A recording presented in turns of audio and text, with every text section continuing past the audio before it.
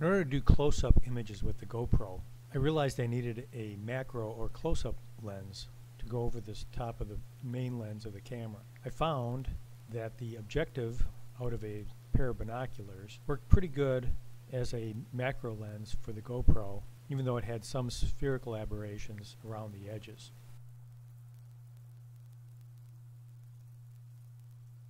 Once I found a lens that would work, I needed to have some method of holding the lens in front of the camera. To do this, I used a tube of copper, uh, brass washer, um, and various screws and fasteners.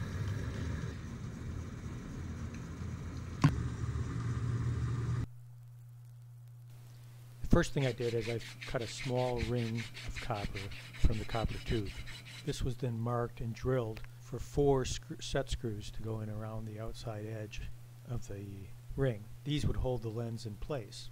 Here I'm making a pattern so I can drill four equidistant holes around the outside of the ring. Brass screws will be inserted through these holes to act as set screws that will hold the lens itself inside the ring. And now I'm drilling four holes into the ring. This brass washer is going to fit over the top of the copper tube and provide a support for the surface of the lens without blocking light from entering it. The hole in the washer is being widened on the lathe.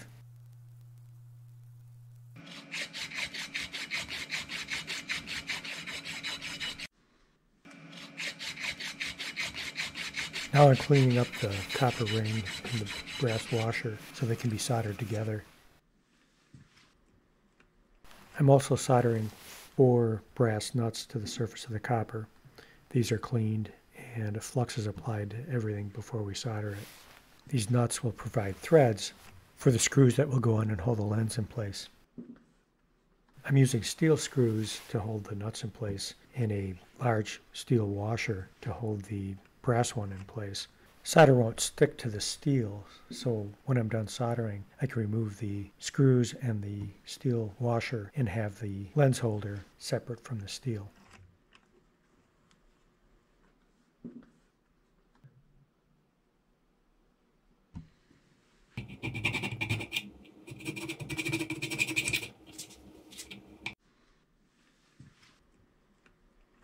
Cleaning off some excess solder removing the screws from the nuts that are now soldered to the surface of the lens holder and filing and sanding the surface of the lens holder.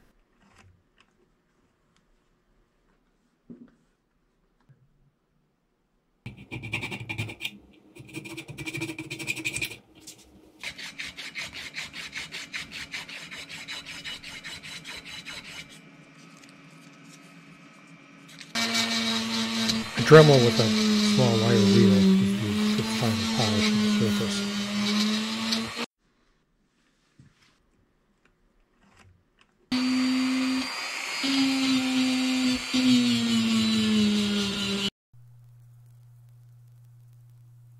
Self-adhering felt pads were added to the surface of the holder and to the surface of the lens to prevent it from scratching either the lens or the GoPro.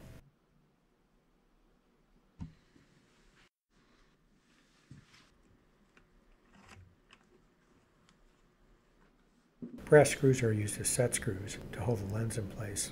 The electrical connector eye will be used to loop a rubber band through that will hold the lens to the GoPro.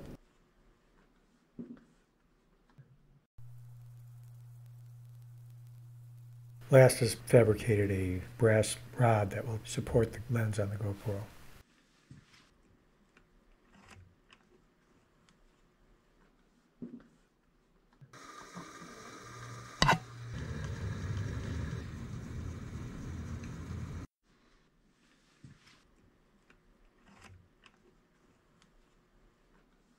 It is comprised of two pieces of brass soldered together, one overlapping the other. One piece is slightly longer than the other. A hole will be drilled into the longer piece for mounting to the rest of the lens holder.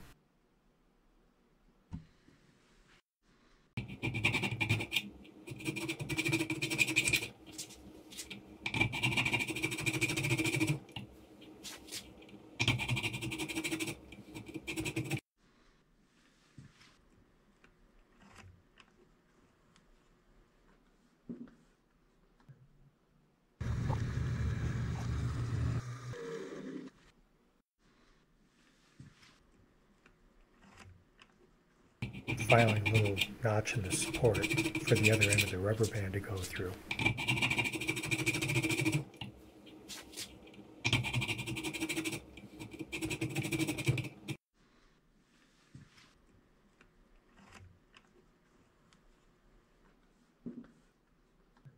Finally, the whole thing is put back together.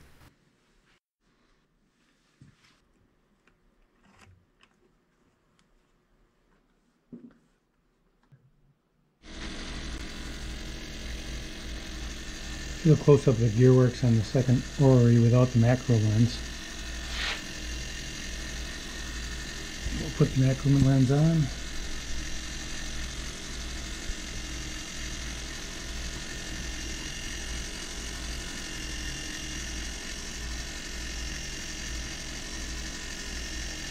You see the picture's much sharper. You can see the gears turning.